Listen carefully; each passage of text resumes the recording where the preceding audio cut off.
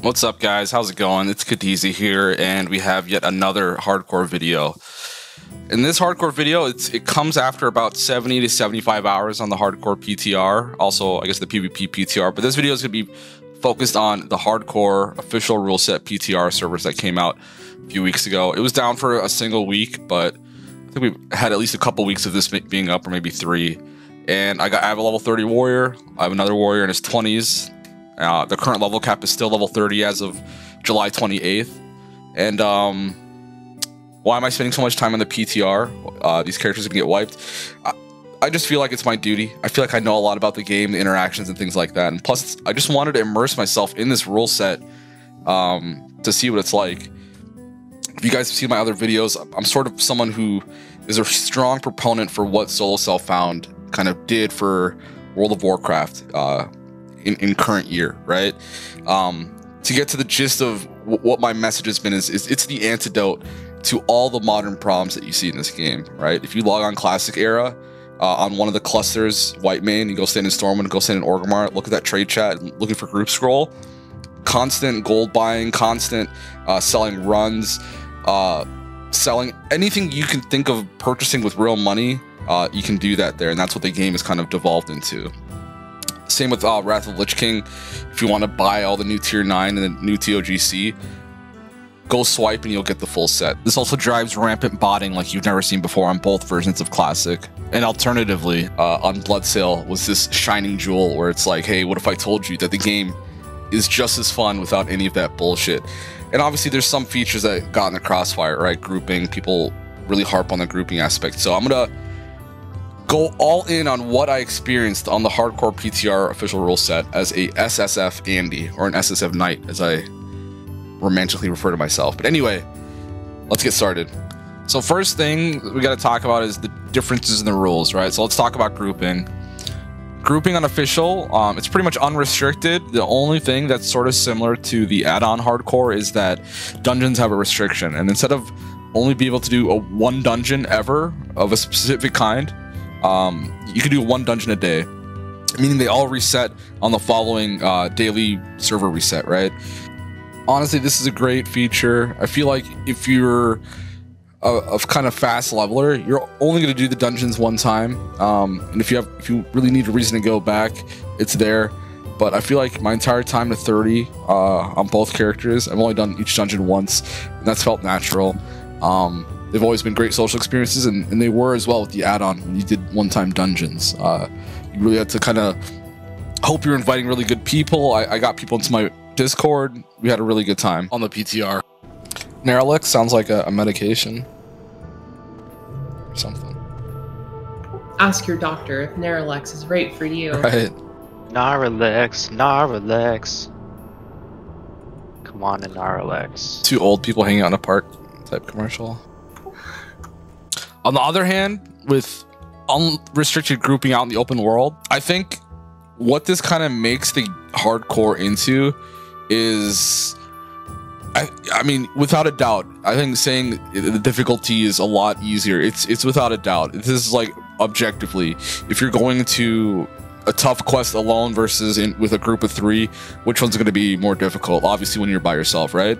Really, right now, I'm, you see on the screen, I'm doing Torek's Assault. This is a quest, a classic quest where warriors really want to do it early because the one hand sword's not that good, but the earlier you get it, like 19, 18, the better it is if you're trying to tank something with a shield, right? And usually you, you, you can solo it. It's a little bit challenging. Things can go wrong, but here, just duoed it, no problem. Got my sword, left Ashenvale, and the quest is no longer has that edge to it, right? But, you know, I'd be silly not to mention um, just what what you have access to. You have access to all these interesting elite quests that you would never have been able to solo on on the add-on version. Uh, I saw a video on Reddit the other day where someone was talking about, hey, we did the we did the night elf uh, roaming elites in the Barrens with a group of four, and that stuff's awesome. That's that's a cool experience. You have the risk of death, and you're doing pretty tough quests outdoors. Um, but we're gonna go. We're gonna finish them off anyway. Easy enough. We don't need a healer. We just got frost mages kite them around, and it's pretty much GG. Looks like we have aggro from a Kodo in the in the back as well. Or I have aggro. Little evocation, get some more mana. Yeah, DPS down this Kodo. We've got another sheep that's broken. Oh, he netted him, nice. Easy group. We've got a Nice, there on the square. That's good. Nice one. Big DPS going down. Sheep's but part of me feels like I have to emphasize what is lost with, with all this, right? I feel like you, you you can get a comparable outdoor group experience or or something like that on a regular classic era server, non-hardcore. But what you get from having a, a type of soul self found mode when you're out and doing quests alone is your heart rate is through the roof. You're you're constantly turning around. You're scared for your life.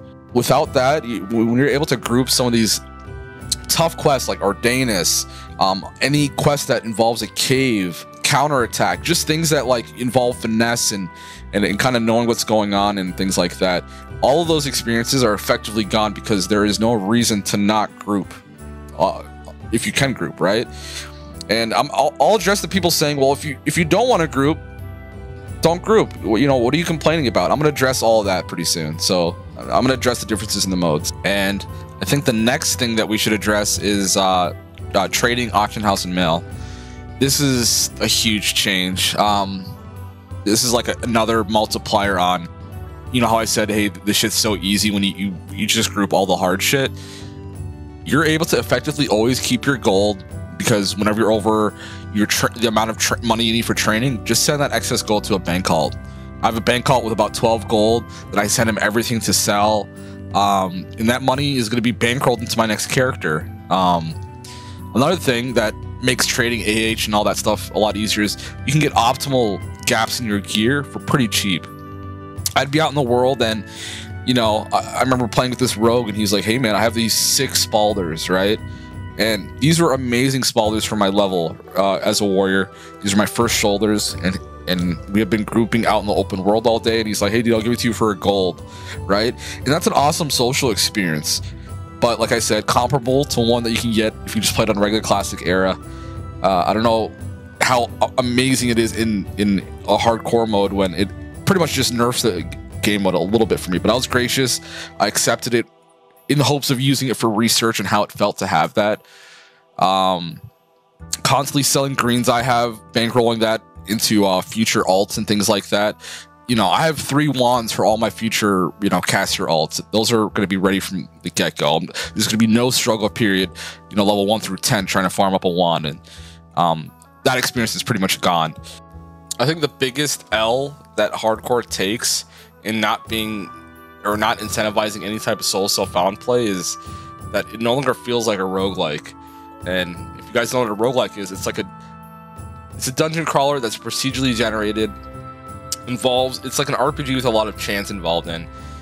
The the roguelike elements with hardcore WoW is the fact that you'd roll a character and you might get a swiftness pot. You might get like a DV delight recipe or something like that. Um, you might get amazing items like you know amazing two-handed sword on your human warrior things like that that would just drastically impact your play. In the one-time dungeon, you might get Cruel Barb and Smite Hammer in the same run. All these things could happen that may not happen on your second character that's also a human warrior that, that comes along. Right now, you have everything at your fingertips from the get-go. On my bank alt, you could probably see that, hey, I have like three Sophus pot recipes and like two DV, uh, D- Delight recipes, right? you have everything at your fingertips from weapons to items to everything. Um, that game of praying that to the RNG gods that you get stuff that makes your hardcore journey easier, it's gone. You have you can get anything you want. You have everyone's RNG chances and pickups to rely upon.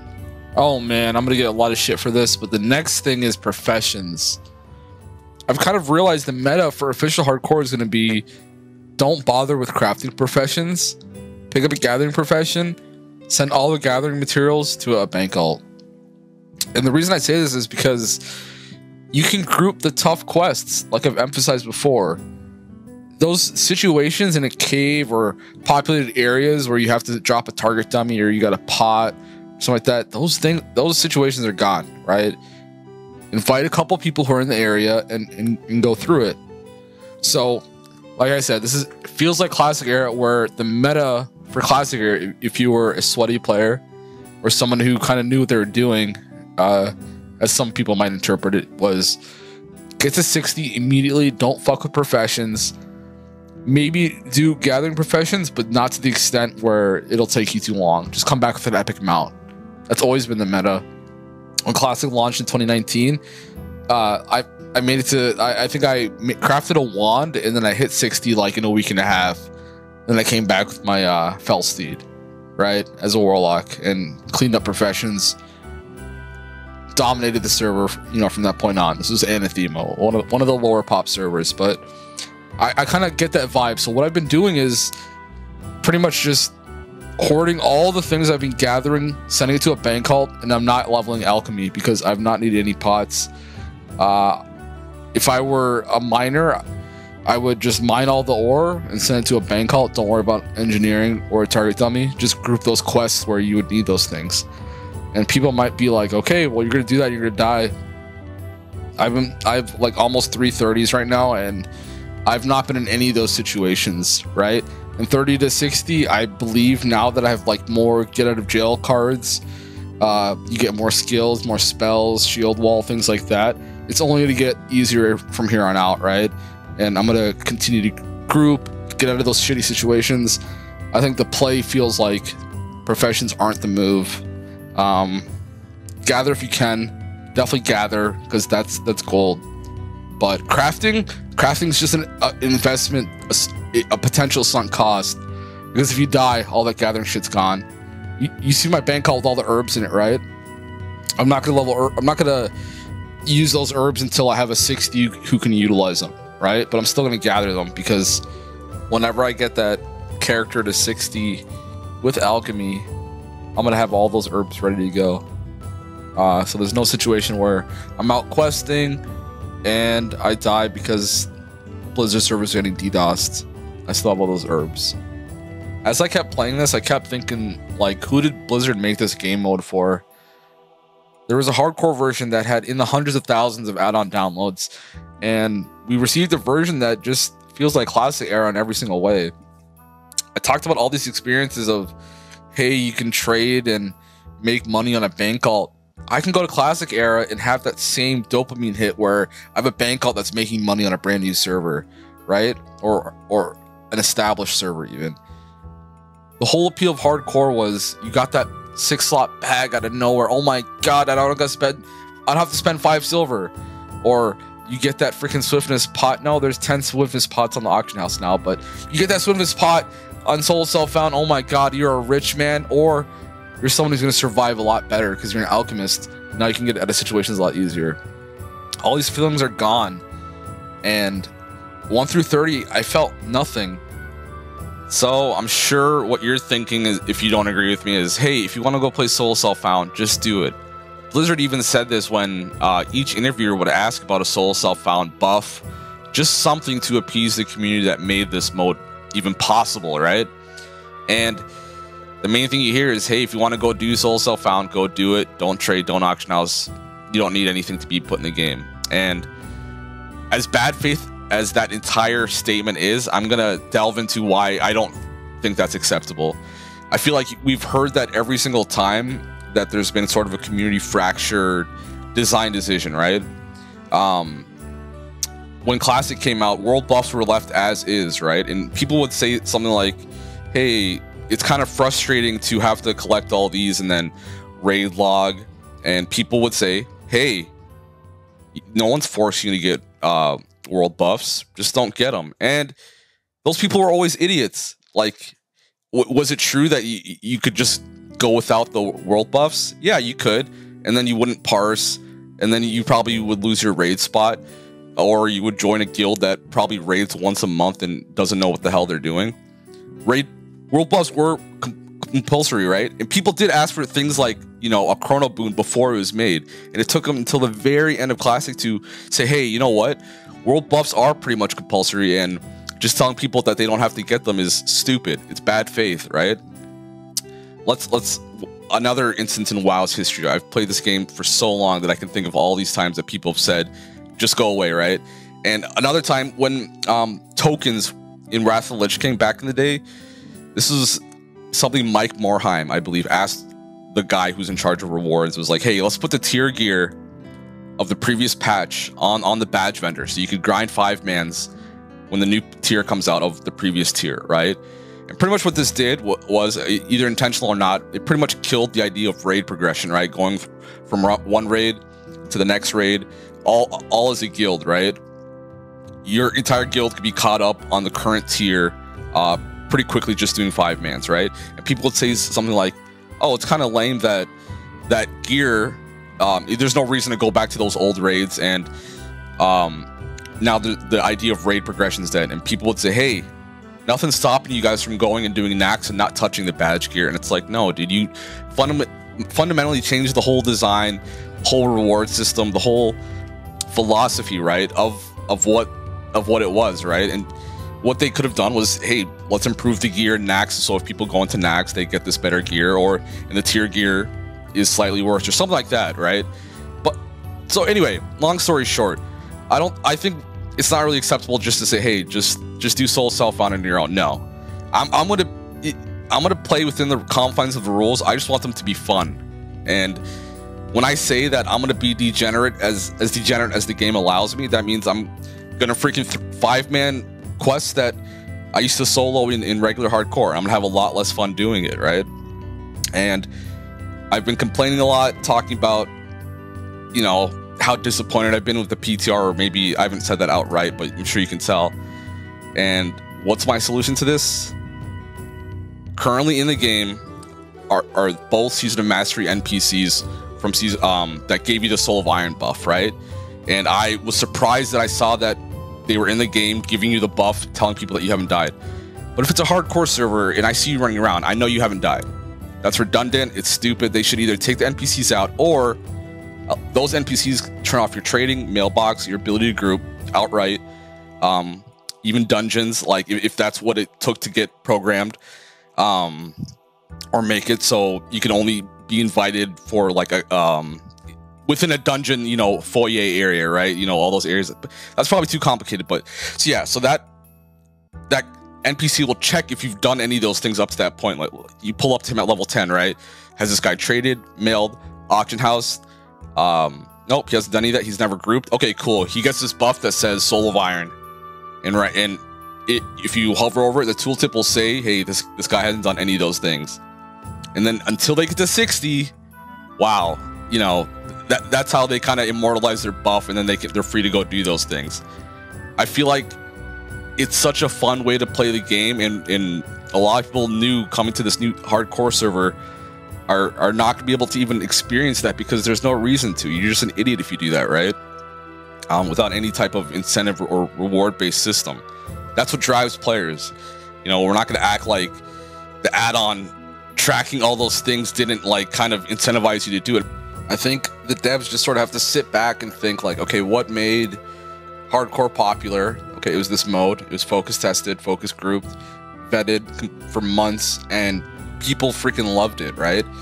And the biggest detractors, you know, they don't they hate hardcore. You know, they're sitting on Reddit talking about how stupid it is that you can't do those things. They haven't tried it themselves, right? And they want this experience of what's pretty much classic era with one life is what I've kind of been referring it to to that. And what I mean by that, it's like the leveling's not the the focus. The whole focus of what it seems like to me, official hardcore is to be you get to 60 and raid, right? Getting to 60 is be a lot easier. You're not going to have all these people constantly dying before level 20, you know, into their 30s and things like that. You're going to group, you're going to hit 60, and the focus is raiding. And I think that misses the mark. And that's why I'm kind of asking, like, who do they make this for? Um, I don't really care about raiding. I'm gonna raid. I'm gonna have characters that raid for sure. But if you said what am I most excited about with hardcore, it's not sitting in Molten Core with one life. No, it's not. That's that's that's not fun. That's not, I've done Molten Core millions of times. I'm not looking forward to something going wrong in there and then dying. That's it. Really doesn't seem too fun to me. It's why I've always avoided it on my 60 that I've gone on official hard or uh, unofficial hardcore. So let me know what you guys think. Um, I'd say after 70, 75 hours, I'm going to official hardcore instead of white hot excited. If you watch my videos from like months ago in May when I was speculating on what kind of servers they'd make, and man, that video I feel like it's aged pretty well.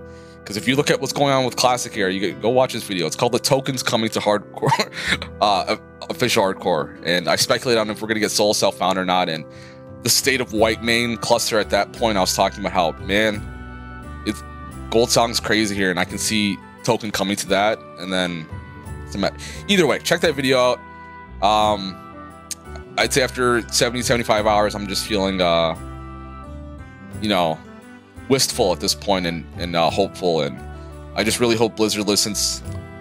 Um, Aggrend on Twitter, he said, hey, you know, Solo Self Found might come in a later patch. We really have to hammer him on that, dudes. We need Solo Self Found to come in a later patch. We gotta save hardcore. Really fucking cringe, like just vanishing and don't not not, not opening, dude. Oh, whoops, I fucked it up there. Wow, my god, man.